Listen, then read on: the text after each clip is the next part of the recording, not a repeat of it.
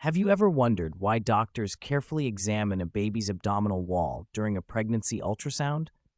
One of the important conditions they're looking for could be an omphalocele. So, what exactly is an omphalocele?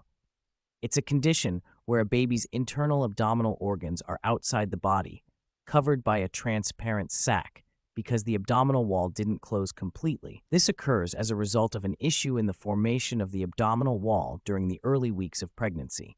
Most commonly, this sac contains the intestines, but depending on its size, it can also include the stomach, liver, and other organs.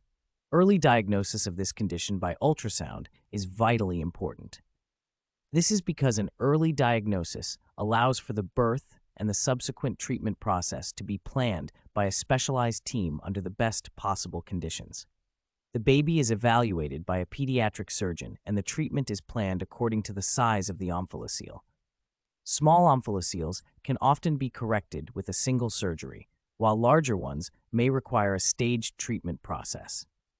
Remember, although the word omphalocele may sound frightening, with early diagnosis and the intervention of an expert team, the chances for these babies to have a healthy future are very high.